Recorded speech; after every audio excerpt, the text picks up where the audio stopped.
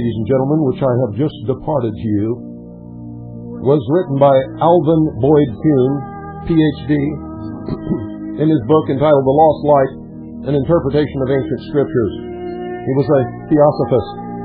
He was one of the most prolific writers and revealers of the esoteric religion. He was a 33rd degree Freemason. He was a member of the Order of Cruci and many others. He was a member of the Illuminati. He says it in his writings. All other Freemasons and members of the Brotherhood of Man who worship behind the veil in the lodges with no windows have all referenced Alvin Boyd Kuhn. They have written that he is one of the greatest of the thousand points of light. And indeed, does not only speak for them, but he is the source of much of the knowledge that most of them possess. And so when Malleus Maleficarum said that he believed in God and he was a Christian, if you understand the definition of his terms and you agree with those terms, then yes, he does believe in God and he is a Christian. But make no mistake about it, ladies and gentlemen, he does not believe in your God, nor does he believe in your Christ or your Christianity.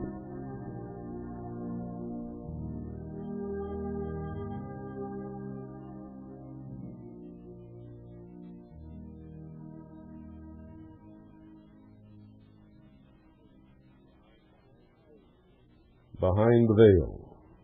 The thousand points of light. Do you really believe, ladies and gentlemen, that great men get up on platforms and make speeches and throw these terms and these words around? And when you question them, they say, oh, it's, it's just, you know, we just threw it in there. Doesn't mean anything. Baloney. Every word that they use. Every word inserted in every speech has a great deal of meaning to someone and is placed there specifically to convey a message. When George Bush spoke of the New World Order and the thousand points of light,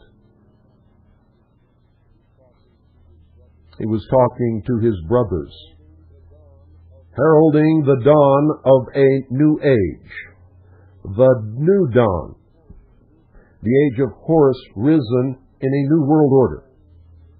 A world where the old religion is to be cast out. Where everything is to be cleansed and made anew in the image of the socialist utopian plan for the world.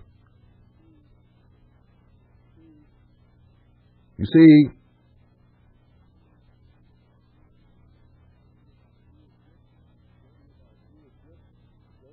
you would just go to your Bible and forget everything else that anyone ever wrote in that book and just read the words in red, you'll see that Jesus tried to tell you everything that I'm telling you tonight. My people perish for lack of knowledge. Seek ye the truth, and the truth will make you free.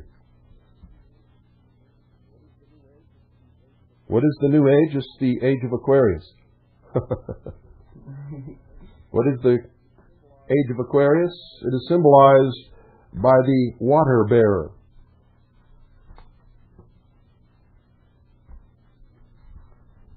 and that has tremendous significance. Now, I'm not telling you to read the Bible to become a Christian or to injure your sensibilities if you're not a Christian. What I'm telling you is there's a message there written in red that no matter who you are or what religion, religion, religion, some of them are religion, or what religion you belong to, there is a message there that if you can see and if you can hear, there's a lot of reference to that in there, And what that means is if you understand the symbolic, esoteric language so that you can read what is hidden below the literal interpretation and stop listening to these maniacs standing up behind pulpits telling you all these lies. Because that's what they are.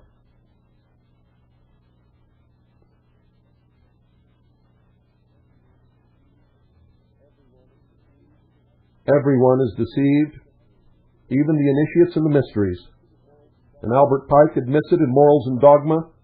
He says that at each level of initiation, they are presented with the same symbolic story, but each degree has a different interpretation.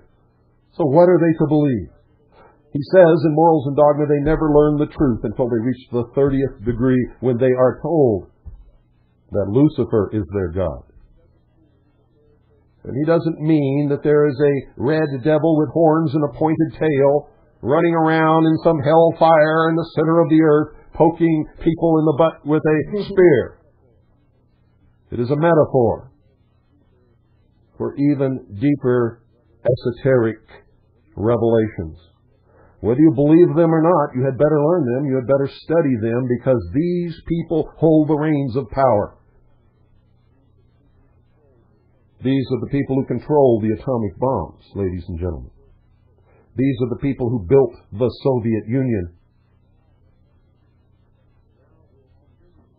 Now we'll continue because now we can talk about God in their language and you can understand that it is not your God they are discussing.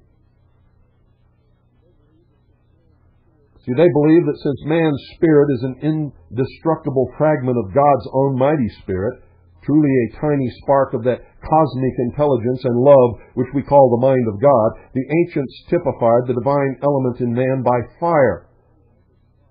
Remember, I told you that fire is the metaphor for the intellect. And in contrast, the lower or human element by water. The human element.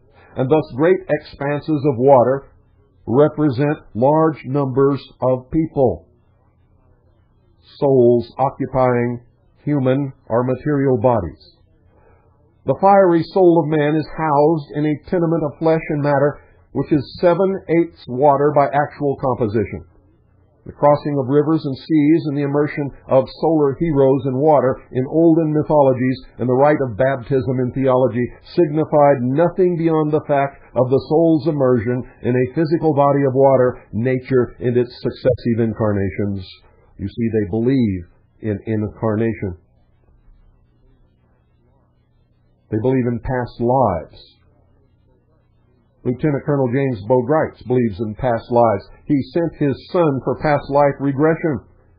He talked about it on the air and said his son in his past life was a soldier just like him. He said that he believes in reincarnation. And in the same breath, out the other side of his mouth, he tells you he's a Christian. I've been telling you for years, James Bo Gritz is an initiate, a warrior monk of the mysteries, a member of the Knights Templar. He is a Freemason, and probably much more. They believe that man is distinctly a creature compounded of two natures, a higher and a lower, a spiritual and a sensual, a divine and a human, a mortal and an immortal, and finally a fiery and a watery conjoined in a mutual relationship in the organic body of flesh. And in the New Age movement, they take this literally and believe that the soul can actually leave the body and another soul come in and occupy it. They call these walk-ins.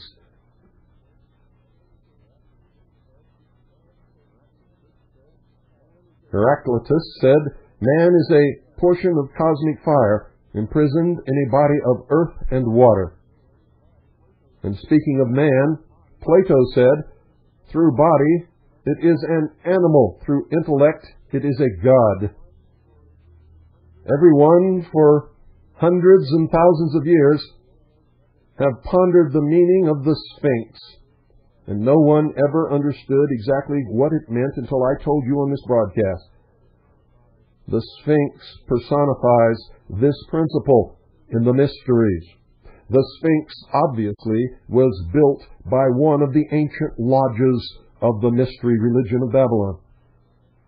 The Sphinx, the Sphinx is put there to remind man that he is an animal who can think.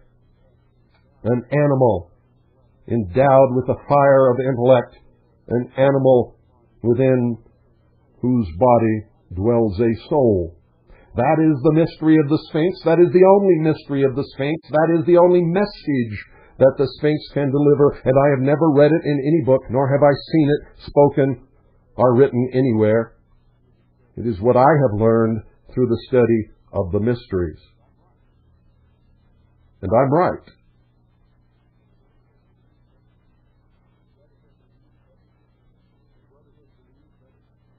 And the Brotherhood believes that this explanation is the truest basic description of man that anthropology can present. They believe that all problems spring from that foundation and are referable for solution back to it. They believe that man is then a natural man and a God. You see? In combination. They believe that our natural body gives the soul of man its baptism by water. Our nascent spiritual body is to give us the later baptism by fire. We are born first as the natural man, then as the spiritual. Or we are born first by water and then by fire.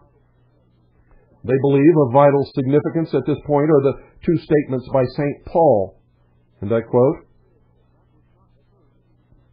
That was not first which is spiritual, but that which is natural.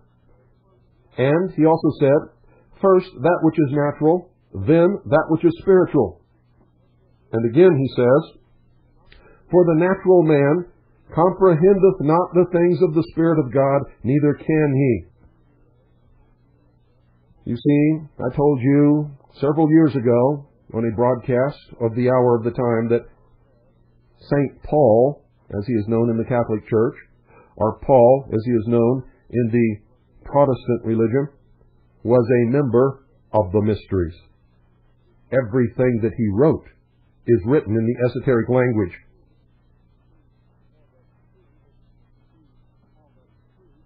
You see, if all that is true, then then man cannot comprehend the things of the Spirit of God if he is the natural man. And as Paul says, neither can he. And of course not. For if that is true, he is not yet in that higher kingdom of evolution, and he must be transformed, transfigured, lifted up into a superior world of consciousness before he can cognize spiritual things. They believe evolution will thus transform him and nothing else will, and this is symbolized in the initiation in the lodge. When they are symbolically suffered a death in a coffin and then raised by the grip of the lion's paw, and given a new name, and thus said to be born again. Christians run around, they go to church, they become baptized, they become a member of a church. Then they fall out of grace, fall out of church, fall away from God, fall away from Jesus. And then they come back. They sit in church, listen to some preacher, they get some feeling in their chest, they rise up, run forward, and they're said to be born again. Nonsense. Absolute nonsense.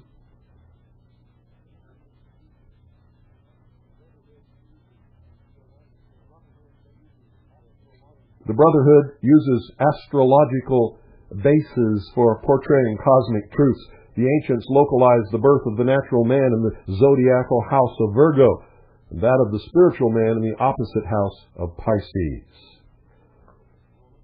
And you're listening to WBCQ, Monticello, Maine, USA. So according to the mysteries, these then were the houses of the two mothers of life. The first was the Virgin Mother, Virgo, the primeval symbol of the Virgin Mary, thousands of years BC, Virgo gave man his natural birth by water and became known as the water mother. Pisces, the fishes by name, gave him his birth by the fish and was denominated the fish mother. The virgin mothers are all identified with water as symbol and their various names such as Mary, spelled capital M-E-R-I, Mary, spelled capital M-A-R-Y, Venus, spelled capital V-E-N-U-S, which means born of the sea foam, Tiamat, Typhon, and Thalath, which is all Greek for sea, are designations for water. On the other side, there are the fish avatars of Vishnu, such as the Babylonian Oannes, or Dagon, and the Assyrian goddess Atargatis was called the fish mother. Virgo stood as the mother of birth by water, or the birth of man, the first, of the earth, earthy. Pisces stood as the mother of birth by spirit or fire, or the birth of man, the second, described by St. Paul as the Lord from heaven. Virgo was the water mother of the natural man. Pisces, the fish mother of the spiritual man. And so, eventually there must be brought out an unrevealed significance of the fish symbol in the zodiac and in mythical religion. For it is of astonishing import, you see, in the mysteries. Water is the type of natural birth because all natural birth proceeds in and from water, even human.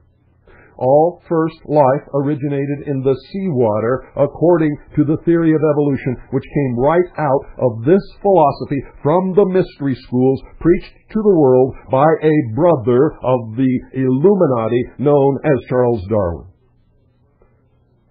The fish is a birth in and from the water, and it stands patently as the generic type of organic life issuing out of inorganic. The fish typifies life embodied in a physical organic structure. Organic life is born out of the water and is the first birth child of the water mother. And if organic life is in turn to become mother, its child will be mind and spiritual consciousness son of the fish mother. In brief, water is the mother of natural physical being and organic structure becomes the later mother of divine mind.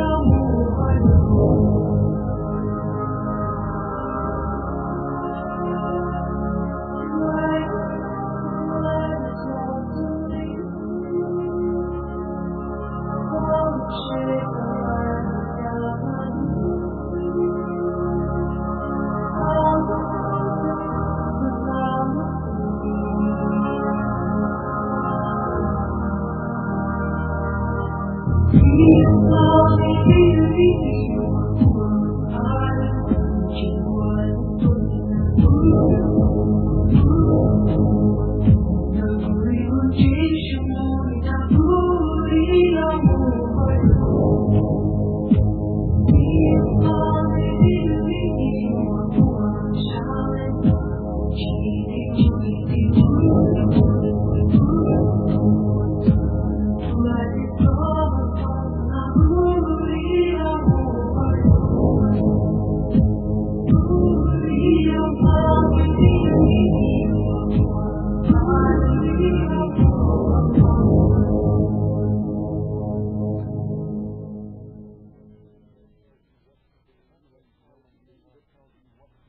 Remember, ladies and gentlemen, we do not tell you what to believe or how to believe it.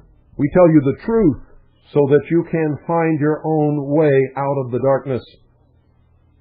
so that you can find the truth, and so that if there truly is a light, you can determine which light is the true light. For they all say that theirs is the light. All of them. All of them. Ours is the light. I am the light. My way is the light. If you don't believe it, read it all.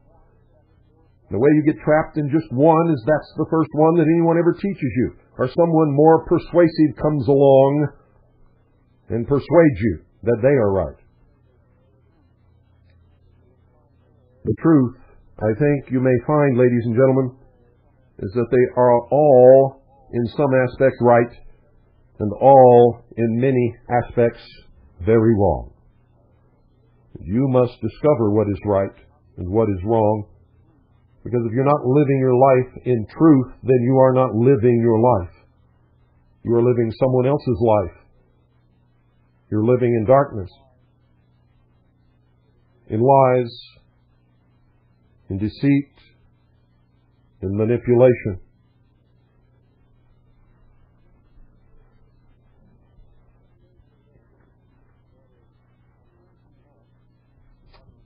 Now, strangely enough, water is the uh, type, ladies and gentlemen,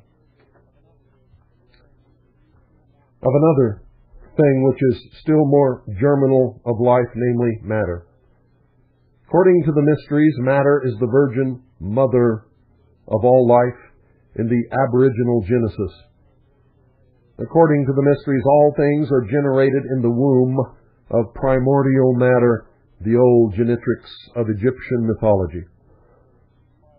And according to the mysteries, it is by consideration of the nature of matter and its evolution that we are enabled to arrive at last at the true meaning of the double motherhood of life. For oddly enough, they believe matter is seen to exist in two states, in each of which it becomes mother of life at two different levels. Primordial matter, the sea of what seems to us empty space, is the first mother of all living forms. They believe that this is the primal abyss of the waters in Genesis, the source of all Darwinism. The Latin word for mother is our very word matter with one T left out, spelled M-A-T-E-R. And how close to matter is water. And organic structure is the second mother, parent of spiritual mind. All of the ancient books, ladies and gentlemen, always grouped the two mothers in pairs. All of the ancient books and the ancient philosophies said that they were called the two mothers, or sometimes the two divine sisters, or they were the wife and sister of the god under the names of Juno, Venus, Isis, Ishtar, Cybele, or Mylitta. In old Egypt, they were the first, Apt and Neith, and later Isis and Nephthys. Massey, the great esotericist, relates Neith to net. Net. You heard us discussing the netters the other night. Not many people upon the face of this globe understand what it was that they that we were discussing.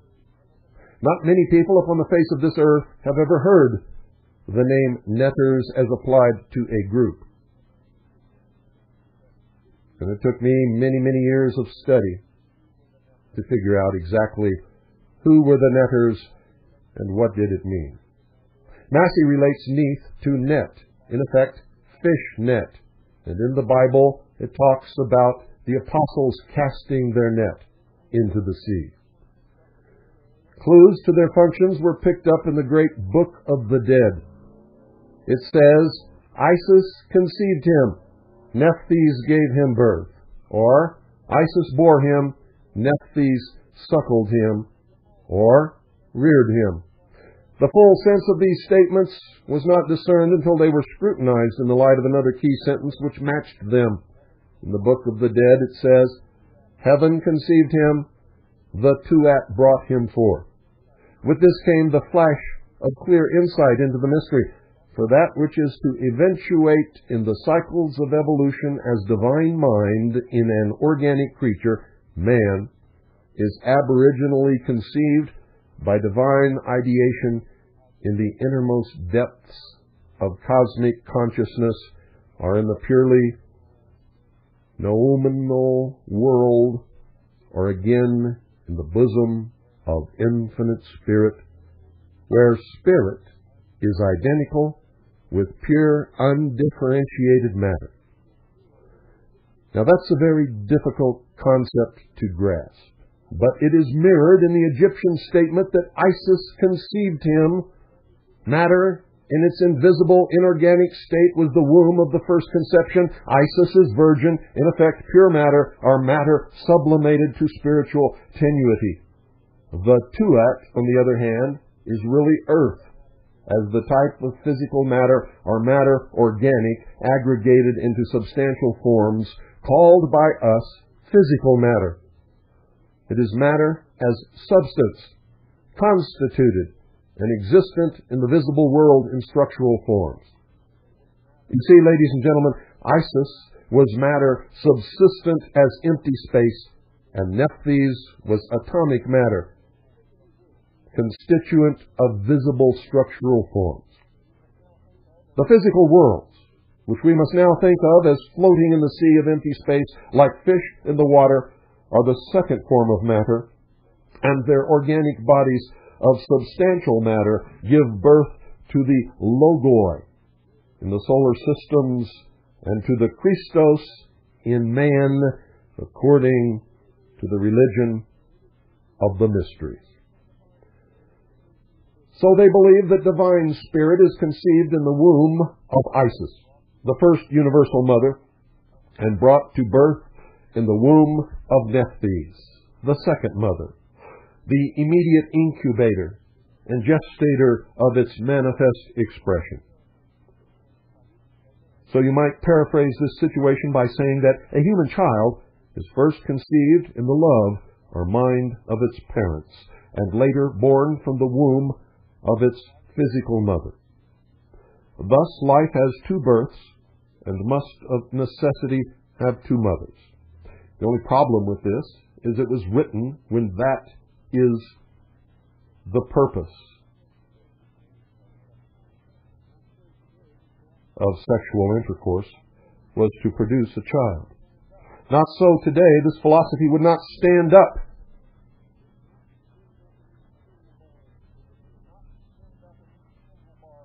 Would not stand up in any single bar in this nation.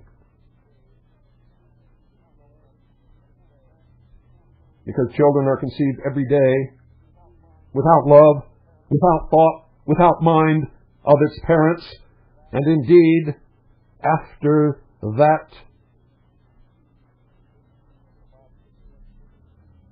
meeting of the bodies, in many instances the parents never see each other again in the rest of their life.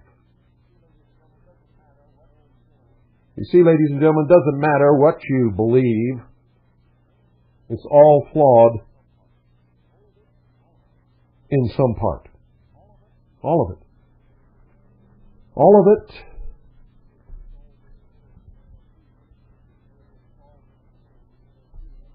because it has all been pinned by the hand of man, no matter who or what inspired it.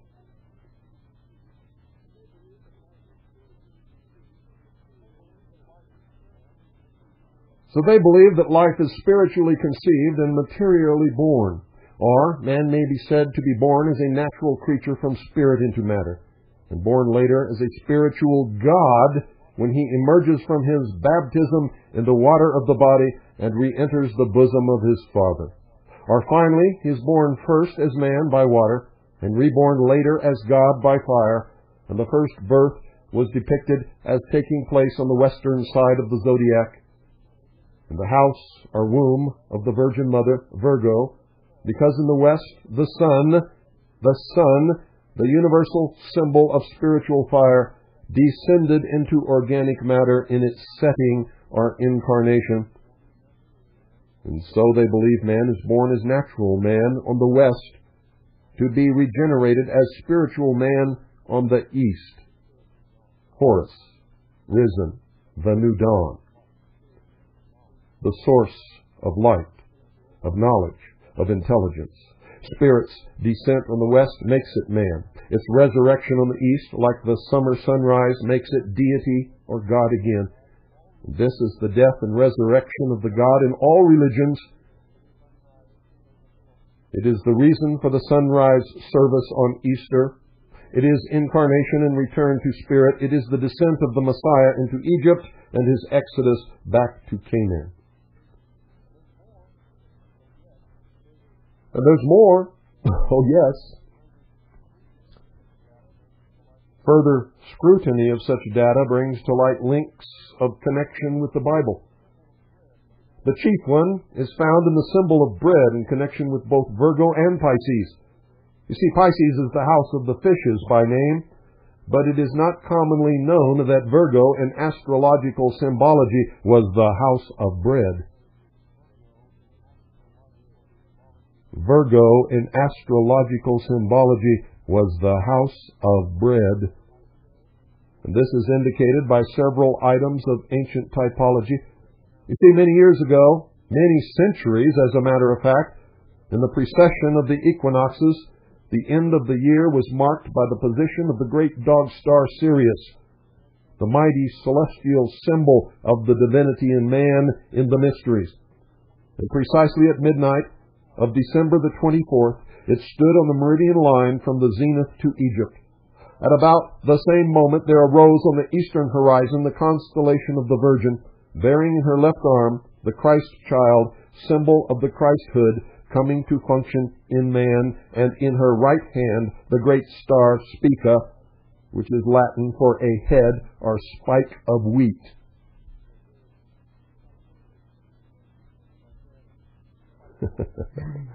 As in spike training symbol of that same divinity coming as celestial food for man. Wheat, bread. It must ever, ladies and gentlemen, be remembered that the gospel Jesus told us we had virtually to eat his body as food and drink his blood if we would inherit eternal life. So typism represented him as coming in the form of man, the babe Christ, and as food for man, the wheat. John speaks of the Christ principle in the words, quote, This is that bread which came, this is that bread which came down from heaven.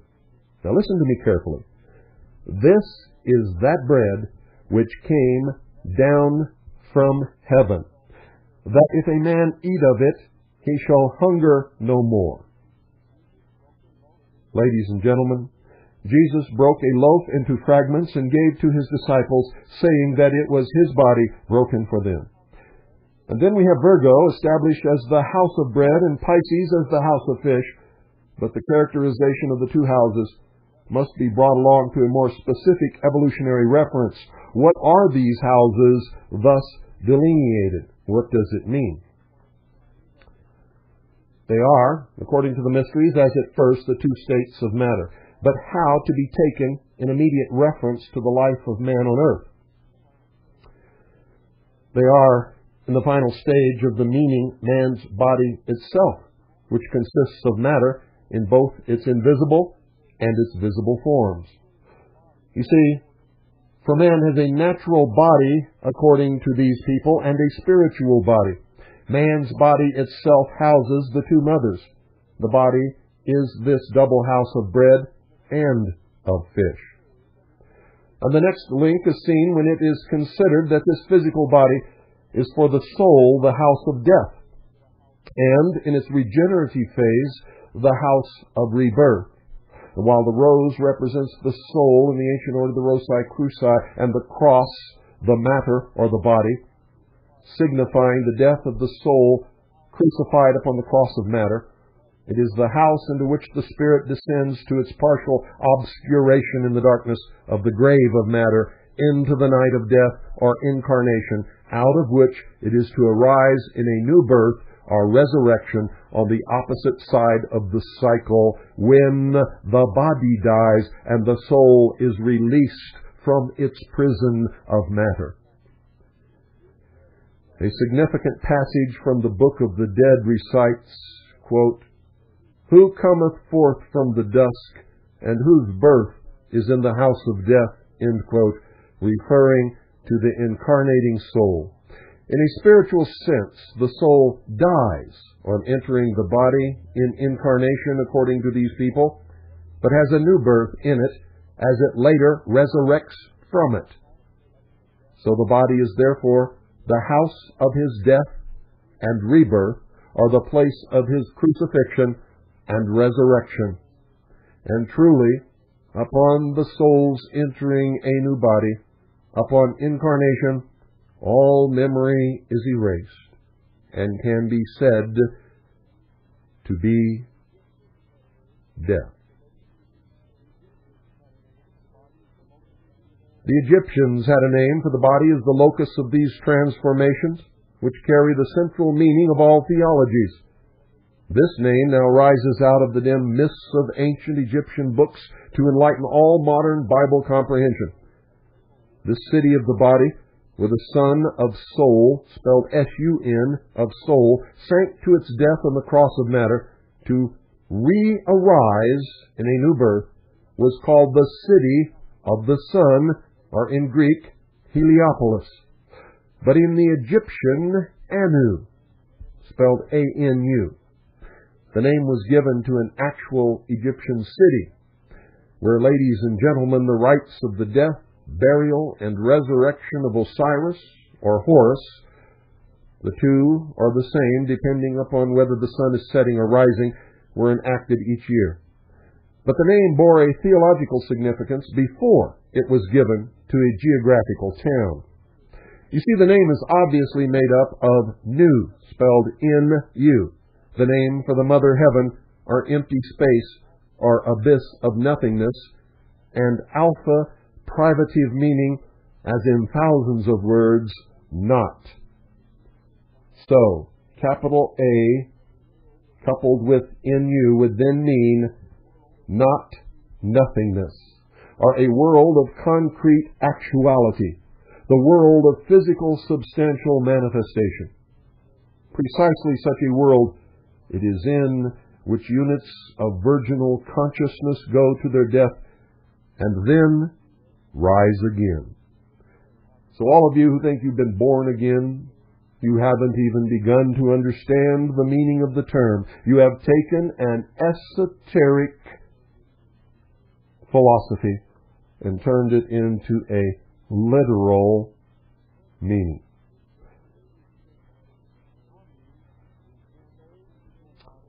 Anu is then the physical body of man on earth.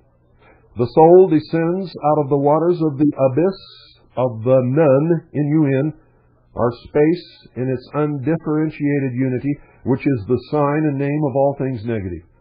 The Nun is indeed our none, spelled N-O-N-E, our nothingness.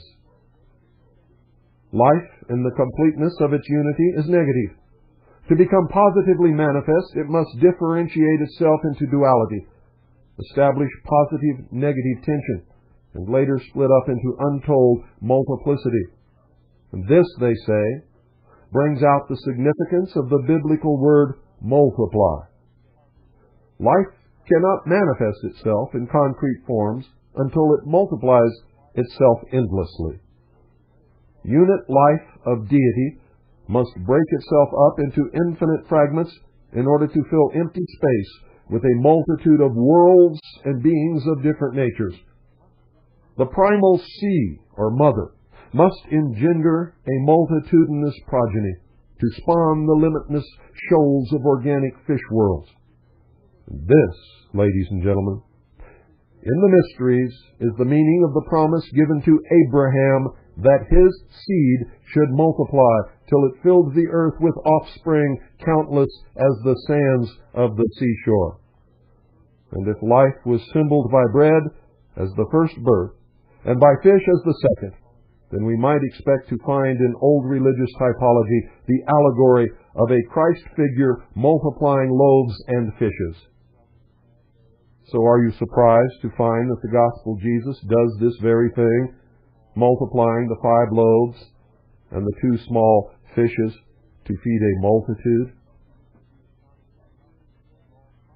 You see, this could be astonishing enough in all conscience, but it yields in wonder to the next datum of comparative religion which came to our notice as a further tie between the Bible and antecedent Egyptian mythology.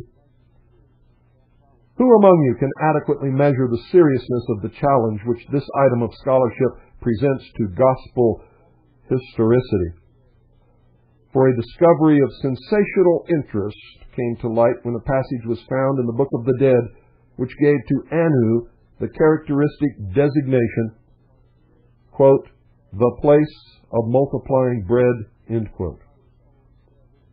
And here, in the long silent tomes of Old Egypt, was found the original, the prototype of the miracle of the loaves and the fishes in the Gospels of Christianity. And the meaning, never before apprehended, had to be read into this New Testament wonder. And at last, we were instructed to catch in the miracle the sense that the physical body, as Anu, was the place where the corpus of the Christ's deific power was broken into an infinite number of fragments and distributed out among a multitude of creatures in hungered after a three days fast or deprivation of the food of spiritual life in their sojourn in the three kingdoms, the mineral, vegetable, and animal, before reaching the plane of mind. And here are all the elements of the inner meaning of the Christian Eucharist, the broken but multiplied fragments of the body of the God distributed to feed hungry humanity. And as humanity is composed of 12 groups of divine conscious units, there were gathered up 12 baskets of fragments. And this episode of the Christ's ostensible life is found to be Egyptian in origin and meaning and symbolic in character and indeed, and indeed, Christ was written about and spoken of and celebrated long before the Christ of Christianity ever appeared upon this earth.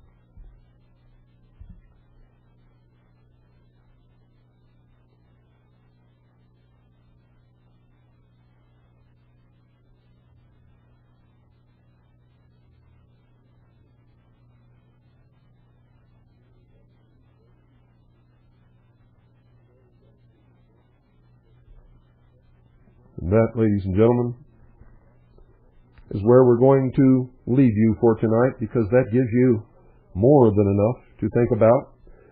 Now, I want to tell you once again it doesn't matter if you believe this or not, or if I believe it or not. It matters not at all.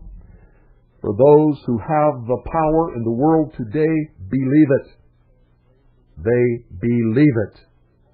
And if they believe it, it will affect all of us, whether we believe it or not. What we believe makes no difference except in our own lives, in the world, and how the governments and powers and principalities rule us or enslave us. It makes a great deal of difference.